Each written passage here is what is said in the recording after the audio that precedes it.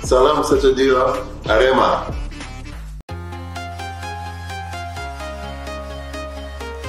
Assalamualaikum warahmatullahi wabarakatuh Salam olahraga Kembali lagi bersama channel kami yang tentunya masih setia menyajikan informasi-informasi menarik seputar dunia sepak bola tanah air Joko Susilo sempat meluapkan kekecewaannya setelah Dedik Setiawan membuang peluang emas saat menghadapi Persib Bandung.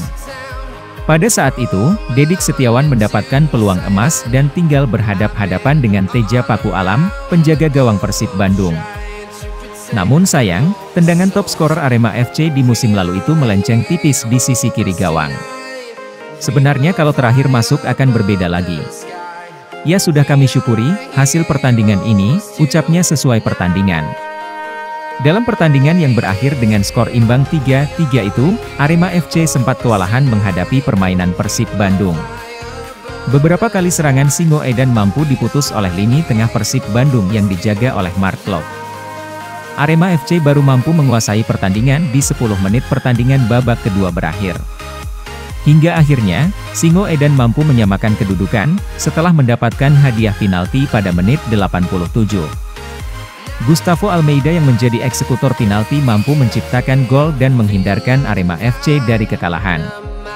Sebenarnya kami ingin poin penuh. Tapi, ya kami hanya dapat satu poin. Harus kami syukuri. Kami juga apresiasi kerja keras pemain kami yang tidak kenal lelah, tandasnya. Baik demikianlah beberapa rangkaian informasi sepak bola kali ini. Jangan lupa klik tombol subscribe. Nantikan dan terus tonton informasi menarik lainnya seputar sepak bola dari channel kami. Sampai jumpa, salam olahraga.